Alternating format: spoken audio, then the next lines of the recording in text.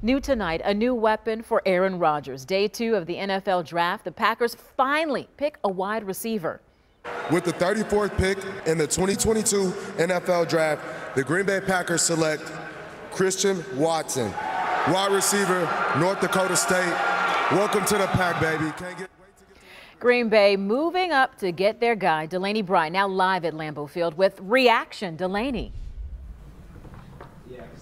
That's right, Shannon. I love how you said finally because it felt like forever, right? After day one of the draft and no wide receivers coming to Green Bay. One thing I do want to mention, though, is at the top of the hour, the Packers finally made their 92nd overall pick as well. It's a left tackle from UCLA, Sean Rhyan, and he's a big boy at 321 pounds. But more about the guy they moved up for, Christian Watson. A cool little tidbit about him: he was his father was actually drafted by the Packers 29 years ago in 1993. It's something that they will hold special on top of his induction into the league.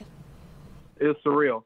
Um, I mean, I've been playing this game since I was four years old. Uh, this is something that I've dreamed of, uh, of, you know, since since then. Um, you know, being able to play at the highest level possible is the goal that I set for myself really early. Um, and obviously, you know, being able to follow his footsteps and be drafted by the by the same, uh, you know, club is is you know extra special to me for sure. It's definitely, uh, you know, a surreal experience.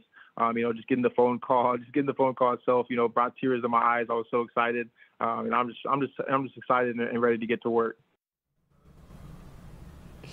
Now, coming up in sports, we'll hear from Christian on his excitement to finally play with Aaron Rodgers, someone he's been watching for a while. Reporting live at Lambeau, Delaney Brey, TMJ4 News.